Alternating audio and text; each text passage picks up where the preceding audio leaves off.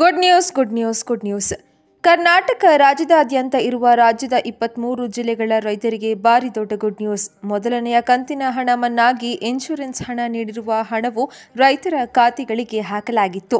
ಈಗ ಮತ್ತೆ ಇಪ್ಪತ್ಮೂರು ಜಿಲ್ಲೆಗಳ ರೈತರಿಗೆ ಖಾತೆಗಳಿಗೆ ಮತ್ತೆ ಶೇಕಡ ಎಪ್ಪತ್ತೈದರಷ್ಟು ಬೆಳೆ ವಿಮೆ ಹಣ ರೈತರ ಖಾತೆಗಳಿಗೆ ಹಾಕಲು ರಾಜ್ಯ ಸರ್ಕಾರ ದೊಡ್ಡ ನಿರ್ಧಾರ ತೆಗೆದುಕೊಂಡಿದ್ದು, ರೈತರ ಖಾತೆಗಳಿಗೆ ಹಣ ಬಿಡುಗಡೆ ಮಾಡಲಾಗುತ್ತಿದೆ.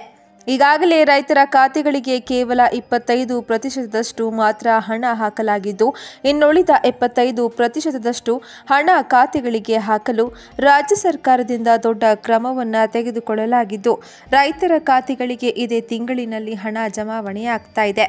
ಹಾಗಿದ್ರೆ ನಮ್ಮ ಖಾತೆಗಳಿಗೆ ಬೆಳೆ ವಿಮೆ ಹಣ, ಎರಡನೇ ಕಂತಿನ ಇನ್ಶೂರೆನ್ಸ್ ಹಣ, ನಮ್ಮ ಖಾತೆಗಳಿಗೆ ಯಾವಾಗ ಜಮೆಯಾಗುತ್ತೆ ಮತ್ತು ಎಂತಹ ರೈತರ ಖಾತೆಗಳಿಗೆ ಮಾತ್ರ ಹಣ ಬರುತ್ತೆ ಎನ್ನುವ ಬಗ್ಗೆ ಕಂಪ್ಲೀಟ್ ಆಗಿ ತಿಳಿದುಕೊಳ್ಳಲು ವಿಡಿಯೋವನ್ನು ಕೊನೆಯವರೆಗೂ ನೋಡಿ.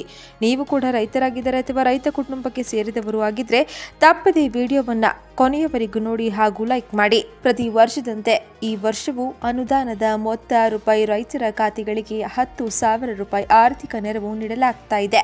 ಏಪ್ರಿಲ್ ಇಪ್ಪತ್ತೊಂಬತ್ತರಿಂದ ಈ ಜಿಲ್ಲೆಯ ರೈತರ ಖಾತೆಗಳಿಗೆ ಅನುದಾನದ ಹಣ ಜಮಾವಣೆ ಆಗ್ತಾ ಇದೆ. ಕೆಲವು ಜಿಲ್ಲೆಗಳಲ್ಲಿ ರೈತರ ಖಾತೆಗೆ ಹೆಕ್ಟರ್ಗೆ ಹತ್ತು ಸಾವಿರ ರೂಪಾಯಿ ಜಮಾ ಆಗುತ್ತಿದ್ದು, ಕೆಲವು ಜಿಲ್ಲೆಗಳಲ್ಲಿ ಆದಷ್ಟು ಬೇಗ ರೈತರ ಖಾತೆಗಳಿಗೆ ಜಮಾವಣೆ ಮಾಡಲಾಗುವುದು. ಫಲಾನುಭವಿ ರೈತರ ಪಟ್ಟಿಯು ಲಭ್ಯವಿದೆ. ಬೆಳೆ ವಿಮಾ, ಖಾರಿಫ್ ಬೆಳೆ ವಿಮಾ ಯೋಜನೆ ಎರಡು ಸಾವಿರದ ಇಪ್ಪತ್ನಾಲ್ಕರಲ್ಲಿ ಇಪ್ಪತ್ತ್ಮೂರು ಜಿಲ್ಲೆಗಳಿದ್ದರೆ ಉಳಿದ ಎಪ್ಪತ್ತೈದು ಪ್ರತಿಶತ ಮೊತ್ತಕ್ಕೆ ಯಾವ ಜಿಲ್ಲೆಗಳು ಅರ್ಹವಾಗಿವೆ? ಉಳಿದ ಎಪ್ಪತ್ತೈದು ಪ್ರತಿಶತದಷ್ಟು ಬೆಳೆ ವಿಮಾ ಮೊತ್ತವನ್ನು ರೈತರ ಖಾತೆಗಳಿಗೆ ಜಮಾ ಮಾಡಲಾಗುತ್ತದೆ. ಬೆಳೆ ವಿಮಾ ಯೋಜನೆ ಬೆಳೆ ವಿಮೆ, ಸಣ್ಣ ರೈತರಿಗೆ ಬೆಳೆ ವಿಮೆ. ಈಗ ಶೀಘ್ರದಲ್ಲಿಯೇ ಎಪ್ಪತ್ತೈದು ಪ್ರತಿಶತ ಬೆಳೆ ವಿಮೆಯನ್ನ ಈ ಜಿಲ್ಲೆಯ ರೈತರ ಖಾತೆಗಳಿಗೆ ಜಮಾ ಮಾಡಲಾಗುವುದು. ಈ ಮೂರು ಜಿಲ್ಲೆಗಳ ನವೀಕರಣವನ್ನ ನೀವು ತಾಲೂಕುಗಳ ಸಂಪೂರ್ಣ ಪಟ್ಟಿಯನ್ನ ಪಡೆಯಬಹುದು. ಲಿಂಕ್ ಅನ್ನ ಕ್ಲಿಕ್ ಮಾಡೋದ್ರಿಂದ ನೀವು ಕೆಳಗೆ ನೋಡಬಹುದು. ಉಳಿದ ಮೊತ್ತವನ್ನು ಒದಗಿಸಲು ಈ ಜಿಲ್ಲೆಯಲ್ಲಿ ಶೇಕಡ ಎಪ್ಪತ್ತೈದರಷ್ಟು ಸೋಯಾಬೀನ್ ಮತ್ತು ಹತ್ತಿ ಕೃಷಿ ಕ್ರಿಯಾಶೀಲವಾಗಿದೆ. ಮೇಲಿನ ಜಿಲ್ಲೆಗಳ ಪಟ್ಟಿಯನ್ನ ಸರ್ಕಾರ ಇಂದು ಸುತ್ತೋಲೆ ಮೂಲಕ ಬಿಡುಗಡೆ ಮಾಡಿದೆ. ಜಿಲ್ಲೆಗಳು ಮತ್ತು ಅರ್ಹ ತಾಲೂಕುಗಳ ಪಟ್ಟಿ. ಕೆಟ್ಟ ಹವಾಮಾನ, ನೈಸರ್ಗಿಕ ವಿಕೋಪಗಳಿಂದ ರಕ್ಷಿಸುವುದು ಬೆಳೆ ವಿಮಾ ಯೋಜನೆಯ ಉದ್ದೇಶವಾಗಿದೆ. ಅಥವಾ ಕೃಷಿ ಮಾರುಕಟ್ಟೆಯಲ್ಲಿನ ಬೆಲೆ ಏರಿಳಿತದಿಂದ ಆದಾಯ ನಷ್ಟ. ವಿವಿಧ ಅಪಾಯಗಳ ಪರಿಣಾಮವಾಗಿ ಅವರ ಬೆಳೆಗಳಿಗೆ ನಾಶ ಮತ್ತು ಹಾನಿ. ಕಾರಣ, ರೈತರು ಫಲಾನುಭವಿಗಳು ಅನುಭವಿಸುತ್ತಿರುವಂತಹ ಆರ್ಥಿಕ ನಷ್ಟವನ್ನು ಕಡಿಮೆ ಮಾಡುವುದು. ಪ್ರವಾಹ ಹಾನಿ ಪರಿಹಾರ ಎರಡ್ ಸಾವಿರದ ಇಪ್ಪತ್ನಾಲ್ಕು. ಹಾನಿಯ ಪ್ರಮಾಣ ಆಸ್ತಿಯ ಸ್ಥಳ ಮತ್ತು ಪೀಡಿತ ಪಕ್ಷಿಗಳ ವಿಮಾ ರಕ್ಷಣೆಯಂತಹ ವಿವಿಧ ಅಂಶಗಳ ಮೇಲೆ ಪರಿಹಾರವು ಅವಲಂಬಿತವಾಗಿರುತ್ತೆ.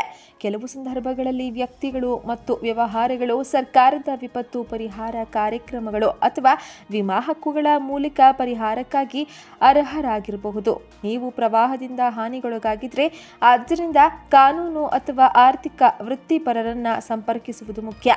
ಮೊದಲನೆಯದಾಗಿ ನೀವು ಬೆಳೆ ವಿಮಾ ಯೋಜನೆಯ ಅಧಿಕೃತ ವೆಬ್ಸೈಟ್ ಅಂದರೆ W W W dot P M F B Y dot government dot ಇನ್ಗೆ ಹೋಗಬೇಕು. ಇಲ್ಲಿ ಮುಖಪುಟದಲ್ಲಿ ನೀವು ಅಪ್ಲಿಕೇಶನ್ ಸ್ಥಿತಿಯ ಆಯ್ಕೆಯನ್ನು ಕ್ಲಿಕ್ ಮಾಡಬೇಕು. ಈಗ ಮುಂದಿನ ಪುಟ ನಿಮ್ಮ ಮುಂದೆ ತೆರೆದುಕೊಳ್ಳುತ್ತೆ. ಇದರಲ್ಲಿ ನೀವು ರಸೀದಿ ಸಂಖ್ಯೆ ಮತ್ತು ಕ್ಯಾಪಿಚಾ ಕೋಡನ್ನು ನಮೂದಿಸಬೇಕಾಗುತ್ತೆ. ಇದರ ನಂತರ ಕೆಳಗೆ ನೀಡಲಾದ ಚೆಕ್ ಸ್ಟೇಟಸ್ ಬಟನ್ ಅನ್ನು ಕ್ಲಿಕ್ ಮಾಡಿ. ಈಗ ಬೆಳೆ ವಿಮೆಯ ಪರಿಸ್ಥಿತಿ ನಿಮಗೆ ಸ್ಪಷ್ಟವಾಗಿ ಗೋಚರಿಸುತ್ತೆ. ಈ ತೆರೆದ ಪಟ್ಟಿಯಲ್ಲಿ ನಿಮ್ಮ ಹೆಸರನ್ನು ನೀವು ನೋಡಬಹುದು. ಯೋಜನೆಯ ಪಟ್ಟಿಯಲ್ಲಿ ನಿಮ್ಮ ಹೆಸರಿದ್ದರೆ ನೀವು ಅದರ ಪ್ರಯೋಜನವನ್ನು ಪಡೆಯಬಹುದು ಈ ರೀತಿಯಾಗಿ ನೀವು ಬೆಳೆ ವಿಮೆ ಪರಿಸ್ಥಿತಿಯನ್ನು ಸುಲಭವಾಗಿ ಪರಿಶೀಲಿಸಬಹುದು.